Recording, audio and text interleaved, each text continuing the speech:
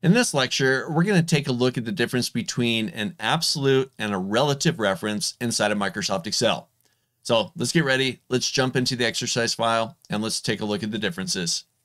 Open in front of you, I've got the example file and I'm going to provide a download link in the description below. So make sure that you download the file, follow along with me and practice these concepts. In this workbook, I've got three worksheets and I'm currently looking at the relative reference worksheet. And I've got a simple little list here, nothing big. It's got an ID column, a product, a unit price, quantity, and we have been tasked with filling out the totals for each of these records. So in this first example here, let's take a look at creating a formula utilizing relative references to the cells that will generate this formula. So in the very first row here, I want to create a formula that really just simply takes the unit price for that row and multiplies it by the quantity to give me the total for this record. And then I want to perform those same actions for every row here. Take the unit price, multiply it by the, the quantity. Next row, take the unit price, multiply it by the quantity, and so on. Well, Here's where the beauty of a relative reference comes into play within your formulas. I'm going to start a formula. I'm just inside of cell E2 and I say equals.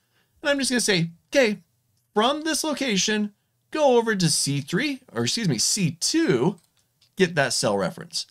Then we're going to multiply that. I'll bring in the asterisk and I'm going to say, go grab cell D2. Now in this formula, and like I said, it's a simple little formula, just two cell references and performing some simple math with the multiplication. So I'm going to say C2, multiply that by D2, those two cell references. Now these references are what are called a relative reference. Now, what do I mean by that?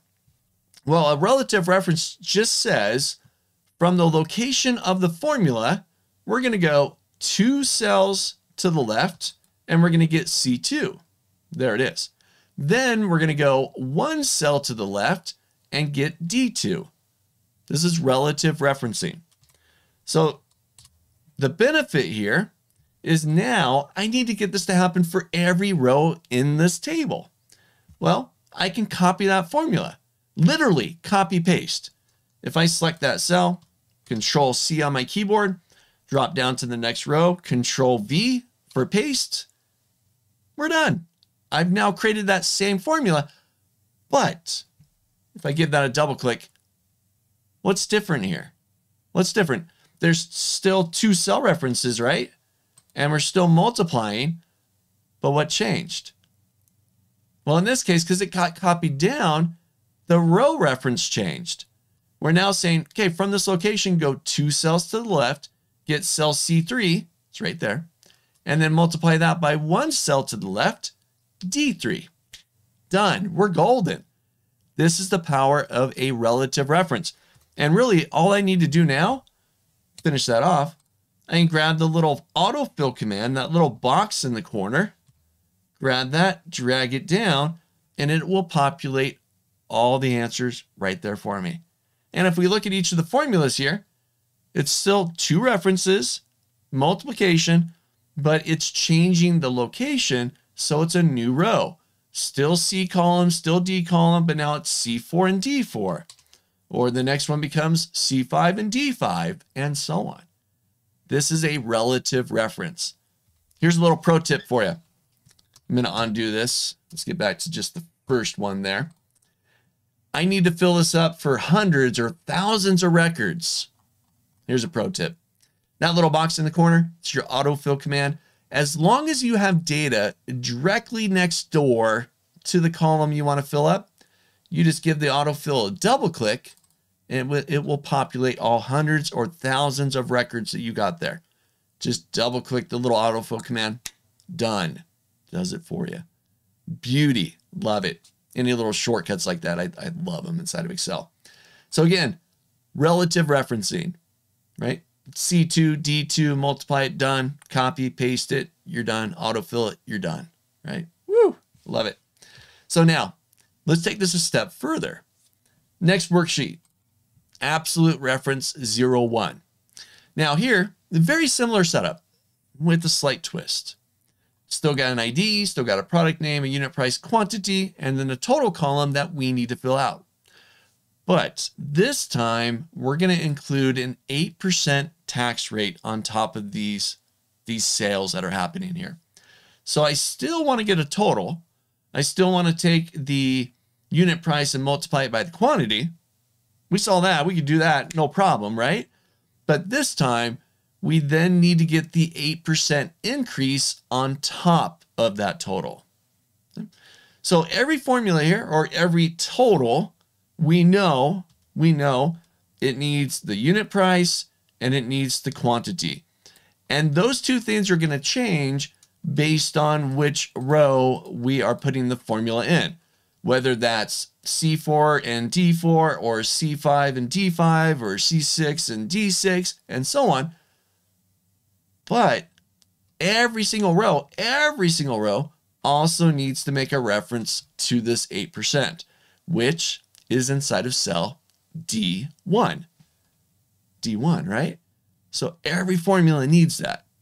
Well, let's take a look at how to do this. So I'm going to jump into my first cell, E4 there. Still going to create a formula.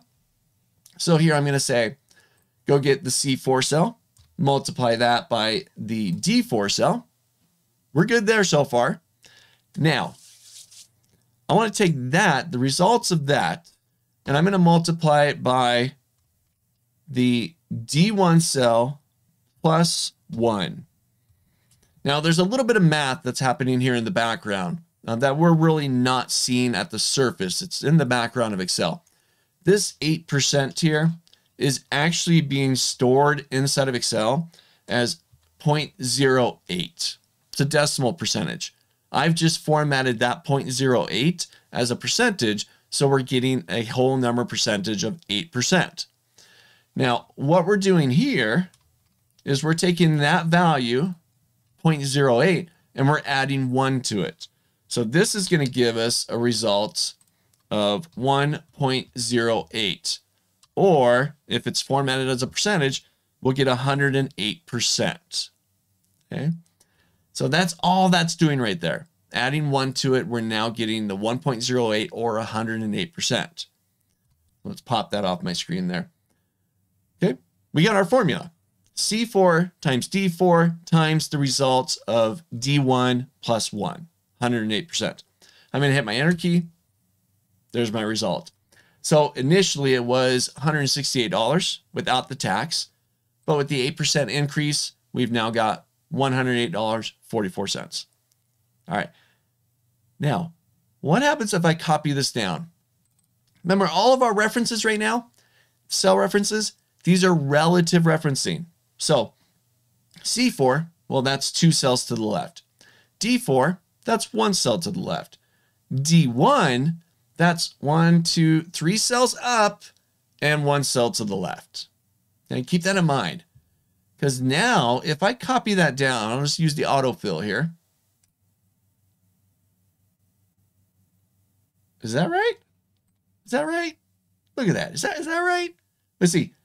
Now, this is the first one's right. I know that one's right. Second one, $9.80 times 10. Oh, but wait, $98. That's the results of this, the multiplication here, but what about the 8% increase? Or why am I getting an error here? Or or what is going on? 18,000, 18,000, that's not right. That's that that's definitely not right. What's going on here? Well, remember our first formula was using the relative referencing. Remember D1, here's where we're going to focus. D1 was one, two, three cells up, one cell to the left. We copied that down. We used the autofill, went to the next row. Oh, D2. Well, remember it was one, two, three cells up, one cell to the left. That's an empty cell.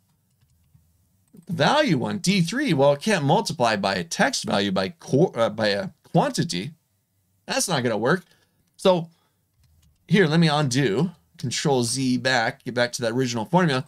Remember D1, every single formula, every single row here needs to reference D1. That can't change. That needs to be absolute, right? Every formula needs that. So what I'm going to do to make this an absolute, I'm going to place dollar signs before the column reference and before the row reference. This is absolute. D1 is now the absolute reference. So if I hit my enter key and then I copy that down, I've now got the proper results. 181.44 for the first one, 105.84 for the next, and so on. Looks much better. No errors, no huge astronomical numbers inside there. We've now got the proper results. And every formula is now referencing D1, D1, D1. It's all there. It's an absolute reference. By placing the dollar signs before the column and before the row reference, D1 is now absolute. All right, try this out. Make sure you download the file. Try out the relative reference inside there. Just some simple multiplication between two or yeah between two cells, and then hop over to the absolute reference and try it out there as well. But remember the dollar signs. Oh, here's a little pro tip for you. If I get back to this first one here, let's delete out those dollar signs for a moment. If I highlight the cell reference within the formula, like D1 here, on my keyboard, top of my keyboard, I got my function keys, F1, F2, F3, and so on. On a Windows machine, I can highlight the cell reference, hit F4, and it'll drop in the dollar signs for me. That's it.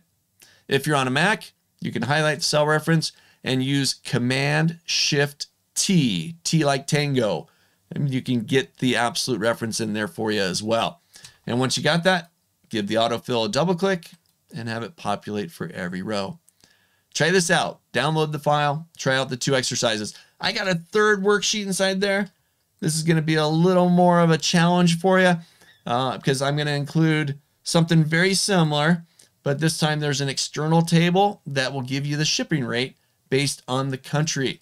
Now, I'm going to provide the proper answer here inside the comments down below. Uh, you can try it out yourself first, see if you can get it to work for you. Uh, and if you're looking for some answers, you can take a look at the comment section and see the proper answer there. But this one's going to, little tip, little tip. This one's going to include the VLOOKUP or the index match pairing. I'll leave that up to you. If you haven't gone through a VLOOKUP or an index match, you can take a look at my course on Udemy and I'll walk you through how to utilize the VLOOKUP and index match functions. You can also take a look at other videos that I have on YouTube that cover those topics as well. So if you've liked this, this uh, little bit of a tip here with absolute and relative referencing and this type of material, make sure you give the video a thumbs up, a like, and subscribe so you get notifications when new videos arrive on my channel. So I hope you've enjoyed this. I've enjoyed giving you the information, and I'll see you in the next video.